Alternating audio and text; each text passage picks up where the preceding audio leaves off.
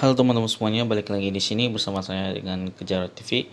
Nah kali ini aku akan membagikan tips ya. Uh, jikalau teman-teman semuanya mau merekam video, namun tidak ada mikrofon, nah teman-teman bisa menggunakan HP ini sebagai inputnya, jadi sebagai mikrofon, pengganti mikrofon. Nah bagaimana caranya? Jadi ikutin ya. Jadi caranya itu kita menggunakan aplikasi yang namanya WO Mic. Nah, pertama sekali di sini teman-teman install aplikasi yang namanya WO Mic ya. Hmm. Ini WO Mic yang ini aplikasinya. Nah, aplikasi ini carinya di Play Store. Jadi dari teman-teman semua cari di Play Store aplikasi WO Mic. Nah, kemudian ini disambungkan menggunakan USB. Jadi supaya data transfernya lebih cepat ya, pakai USB. Nah, bisa juga menggunakan WiFi dan WiFi direct ya.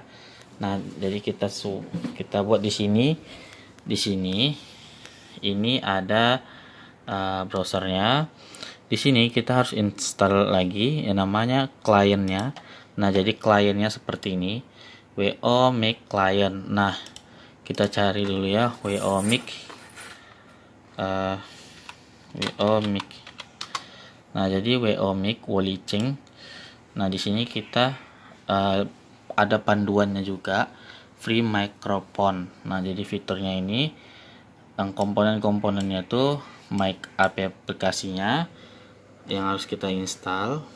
Kemudian ada kliennya kemudian ada virtual device nya nah kalau sudah kita install semuanya barulah kita bisa uh, ini menggunakannya main feature wireless microphone without any cost. Nah jadi sini ada penginstalannya. Di sini ada download and install. Ya kan? Ini dari Play Store-nya ini untuk App Store-nya. Nah ini kliennya kita harus install lagi. Ini klien ini untuk di PC Nah, kali ini install device driver. Jadi drivernya kita harus install lagi supaya dia terdetek nanti ya. Nah, jadi untuk men menceknya itu bisa di device manager ya. Di device manager ini. Jadi gampang banget. Kalau misalnya nggak ada mic duit mau beli mikrofon gitu kan. Nah, kita bisa pakai HP. Nah, ini suaranya lumayan jernih loh teman-teman semuanya. Hasilnya lumayan jernih. Di video di Kejar TV itu rata-rata aku menggunakan ini mikrofon dari HP ini gitu.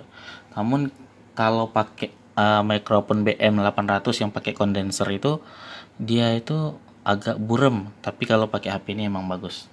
Nah, di sini tinggal ikutin aja. Jadi kita harus mengenablekan USB debugging ya. Nah, itu ada caranya. Gampang banget. Nah, kalau udah nanti dia bakalan terdeteksi sendiri misalnya di di sini ya Wonder Mora ini nah ini bakalan terdeteksi sendiri nih mikrofonnya nah mikrofon WO itu artinya WO mic jadi kalau udah ya gampang deh tinggal rekam rekam rekam rekam jadi. Nah jadi seperti itu teman-teman semuanya.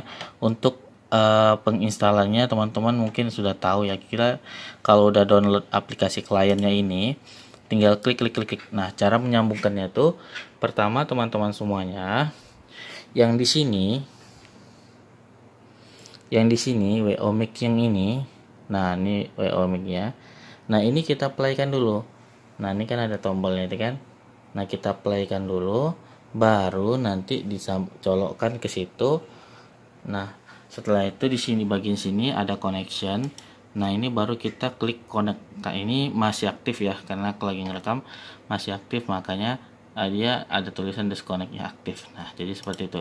Nah di sini kalau kita pakai wifi di sini ada uh, portnya ya buffer. Di sini cuman tiga menunya. Jadi seperti itu aja menjadikan mikrofon HP HP ini menjadi mikrofon dan suaranya jernih coy Nah, oke teman-teman semuanya sampai jumpa dan terima kasih. Kalau yang kurang ngerti silahkan tanyakan ya. Nah, biasanya untuk penginstalan kadang ada yang namanya error ya. Jadi kalau misalnya error, nah coba tanyakan di bawah di kolom komentar ya. Nanti mudah-mudahan aku bisa menjawabnya. Oke, sampai jumpa dan terima kasih.